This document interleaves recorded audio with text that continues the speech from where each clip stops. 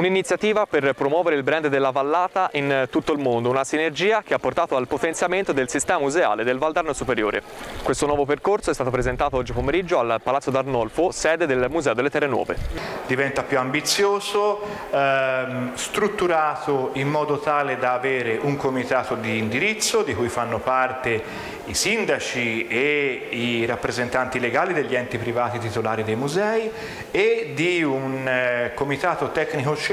di, di cui fanno parte i direttori dei musei un modo per valorizzare l'autonomia dei musei, grande dibattito che c'è stato in questo Paese e al quale noi crediamo.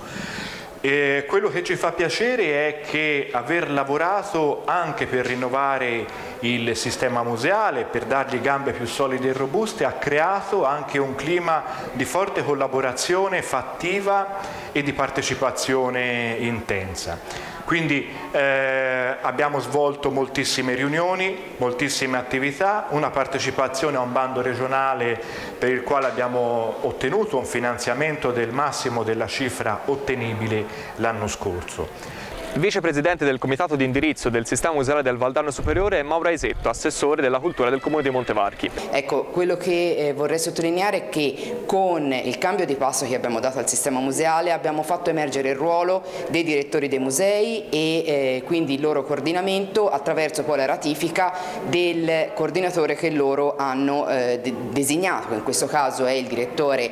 Paola Bertoncini del Museo Mine di Cavriglia. Ci siamo poi redistribuiti i ruoli ruoli, nel senso che è vero abbiamo un ente capofila che deve svolgere determinate mansioni, ma gli altri comuni, gli altri enti, nonché i musei in questa ottica di collaborazione hanno eh, voluto darsi una, un assetto anche eh, differente, vedendo la eh, partecipazione di musei piccoli, di eh, comuni più grandi, eh, dedicati allo stesso obiettivo. Entriamo nello specifico dell'iniziativa con Paola Bertoncini. Sono mh, mm, progetti che hanno più livelli, dall'aspetto comunicativo e social, quindi una ovviamente mh, rivisitazione del sito, dei canali social, ma proprio anche un'impostazione eh, comunicativa diversa rispetto a quella che è stata fino ad oggi del sistema, al tempo stesso la possibilità di eh, avere delle visite virtuali all'interno degli spazi con degli approfondimenti.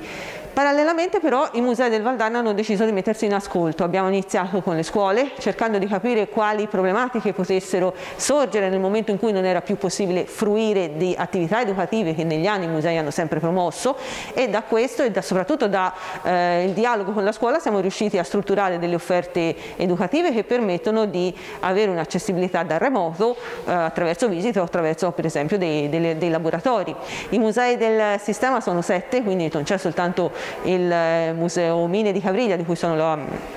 curatrice, eh, abbiamo il Museo eh, Paleontologico di Montevarchi, dell'Accademia del Poggio, il Museo Il Cassero per la scultura dell'Ottocento e del Novecento di Montevarchi, abbiamo il Museo della Basilica di Santa Maria delle Grazie di San Giovanni, il Museo delle Terre Nuove dove siamo oggi appunto in questa presentazione sempre qui a San Giovanni, Casa Masaccio e il Museo Venturino Venturi di Loro Ciuffenna.